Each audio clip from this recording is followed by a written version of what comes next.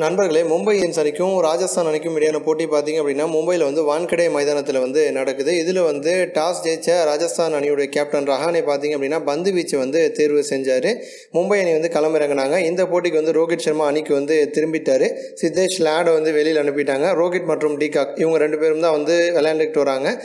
பத்து ஓவர் முடிஞ்ச பிறகுமே கூட வந்து ஒரு விக்கெட் கூட வந்து எடுக்கலை. பத்து ஓவர் முடிவில் பார்த்தீங்க அப்படின்னா ரோஹித் வந்து நாற்பத்தி ஐந்து ரன்கள் அடிச்சிருக்காரு. டிகாக் வந்து நாற்பத்தி ஏழு ரன்கள் வந்து அடிச்சிருக்காரு. அபாரமாக வந்து விளையாண்டுட்ருக்காங்க. இந்த போட்டியில் பார்த்தீங்க அப்படின்னா பத்தாவது ஓவரில் வந்து சூப்பரான ஒரு சம்பவம் ஒன்று நடந்திருக்கு. கிருஷ்ணப்பா கௌதம் வந்து பால் வீசியிருப்பார். அதில் பார்த்தீங்க அப்படின்னா முதல் பால் வந்து டிகாக் வந்து சிங்கிள் அடி கொடுத்துருப்பாரு. ரெண்டாவது பால் ரோஹித் வந்து சிக்ஸ் அடிச்சிருப்பாரு. மூணாவது பால் வந்து ஃபோர் அடிச்சிருப்பாரு. நாலாவது பாலும் வந்து ஃபோர் அடிச்சிருப்பாரு. ஐந்தாவது பால் வந்து ரோஹித் சர்மா வந்து இறங்கி வந்திருப்பாரு. ரோஹித் வந்து இறங்கி வரதை பார்த்துட்ட வந்து கிருஷ்ணப்பா கௌதம் பார்த்தீங்க அப்படின்னா எப்படியாச்சும் வந்து ஒரு லெக் சைடில் வந்து ஒயிட் பால் போட்டு ரோஹிட் வந்து ஸ்டம்பிட் பண்ண வைக்கலாம் அப்படின்னு சொல்லிட்டு பிளான் பண்ணி ஒயிட் பால் போடுற மாதிரி வந்து பந்தை வந்து வீசியிருப்பார்.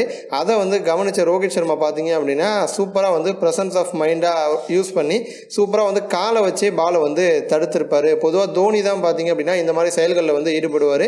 இப்போ தோனி வழியில் பார்த்தீங்க அப்படின்னா ஹிட்மான் ரோஹித் சர்மாவும் வந்து தன்னுடைய காலால் பந்தை வந்து தடுத்திருப்பார்.